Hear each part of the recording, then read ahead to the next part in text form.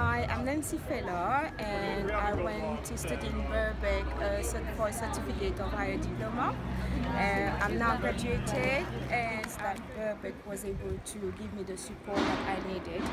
and they trusted me more than I trusted myself and I had the support that I needed from the tutor, the, the encouragement as well in all the different departments and yes that's it.